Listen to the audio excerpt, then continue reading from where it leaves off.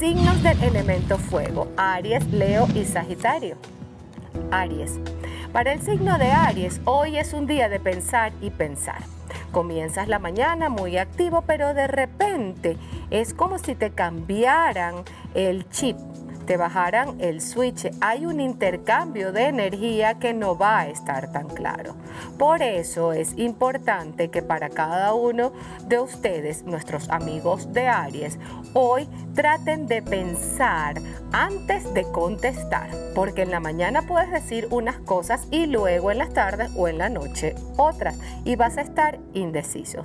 Mañana va a ser un mejor día para estar claro de tus sentimientos y de las decisiones. No lo veo como algo negativo, sino que no tienes tanta claridad de que te vayas a sentir cómodo con algún tipo de petición o algo que hicieron hacia ti y tú dices, bueno, ¿será que lo doy? ¿No lo doy? ¿Me presto para esto? Así que si eres del signo de Aries, piénsalo un poquito más.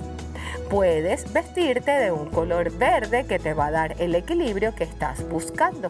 Y si no, prende una velita verde que también te va a funcionar.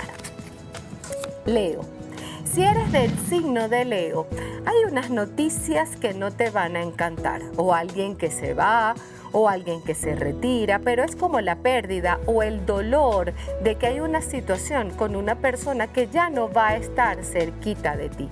Sea porque terminaste con la pareja, porque hay alguien que se va del país o hay alguien que simplemente sabes que sea difícil que lo vuelvas a ver. Esos sentimientos y esas emociones están más afincaditos allí o más alineados con lo que es el tema de la pareja.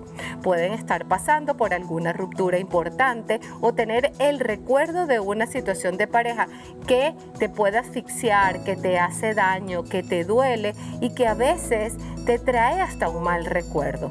No dejes que los que están actualmente contigo paguen los platos rotos si eres del signo de Leo. Borrón y cuenta nueva. ¿Para qué? Para que todo lo que empiece de ahora en adelante relacionado con el amor no tenga absolutamente nada que ver con cosas del pasado o con un ciclo que se está cerrando en las relaciones de pareja.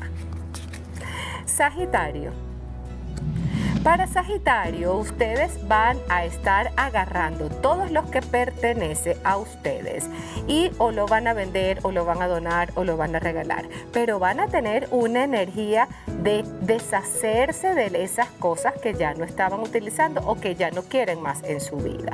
Para los sagitarianos es un momento donde yo, yo lo veo como una limpieza, como deshacerme de cosas que ya no utilizo y también ganar un dinero extra, ganar espacio ganar energía. Hoy y mañana van a estar muy pendientes de esa necesidad, de ese llamado, de esa voz que los puede hasta atormentar, de limpia, saca, dona y Es como un movimiento energético bastante importante si eres del signo de Sagitario, que además te dice conecta con los aromas y este movimiento que me está llegando allí es como el aromas de limón o aromas de cítricos, de bergamota, que va a ser que se terminen de limpiar las larvas energéticas. Si tienes la necesidad de sacar cosas materiales de tu vida para que llegue lo nuevo, es el mejor ritual que puedes hacer los próximos días si eres del signo de Sagitario.